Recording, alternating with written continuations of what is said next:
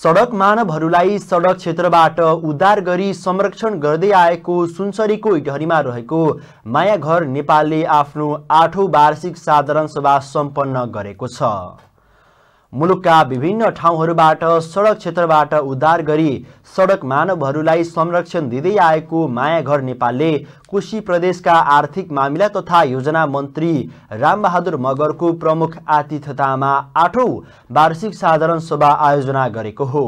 So अवसरमा कार्यक्रमका प्रमुख अतिथि मन्त्री मगरले मुलुकलाई सडक मानवमुक्त बनाउने माया घरको अभियानको प्रशंसा गर्दै प्रदेश सरकारले समेत सहयोग पुर्याउने बताएका छन्। संस्थाकीय अध्यक्ष सुभद्रा प्याकुरेलको सभाध्यक्षतामा भएको कार्यक्रममा जग्गादाता सहित विभिन्न व्यक्ति तथा संस्थालाई सम्मान गरिएको छ।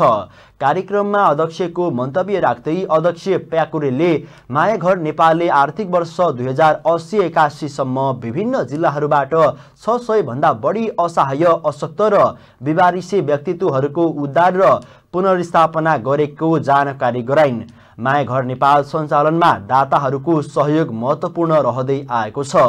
यहाँ विभिन्न व्यक्ति तथा सङ्घ संस्थाहरूले चाडपर्व जन्म विवाह वर्षगाँठ लगायतका अवसर पारेर खाद्यान्न लत्ता कपडा लगायतका सामग्रीहरू सहयोग गर्दै आएका छन्।